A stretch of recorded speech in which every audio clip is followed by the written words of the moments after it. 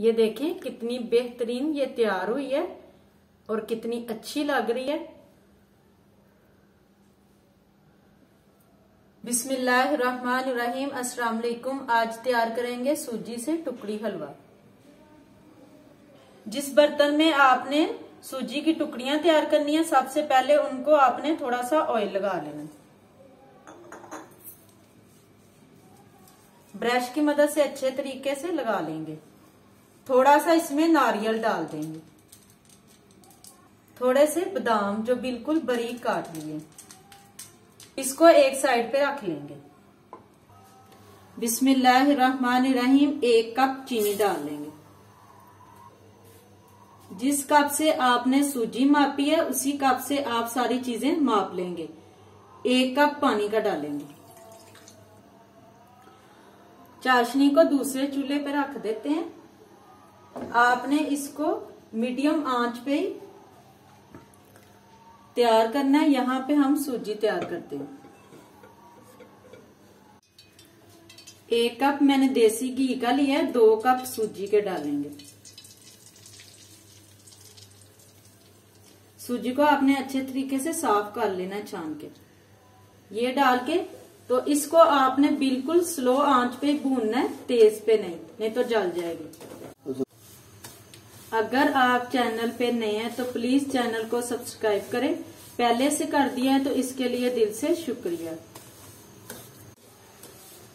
सूजी तैयार हो चुकी है, लेकिन चाशनी तैयार नहीं हुई तो इसका हम चूल्हा बंद कर देंगे।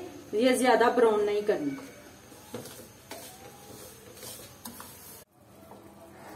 ये देखिए, मैं यहाँ पे आपको चेक करवाना चाहती हूँ।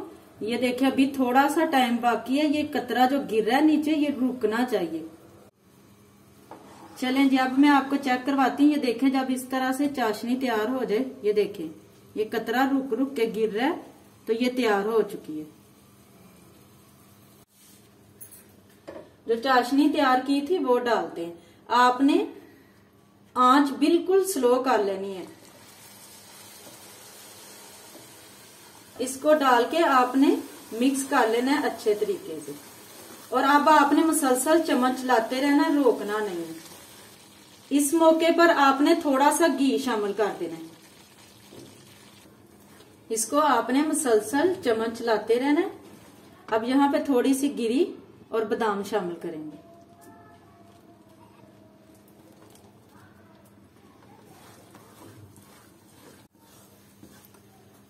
जब ये पैंदे से छुटने लग जाए तो समझे ये तैयार है। ये तैयार हो चुका है, अब इसका चूल्हा बंद कर देते हैं और जिस बर्तन में मैंने ऑयल लगाया था, उसमें डालते हैं जिस बर्तन में मैंने ऑयल और बादाम, गिरी वगैरह डाली थी, अब उस बर्तन में ये सारा हलवा निकाल लेंगे।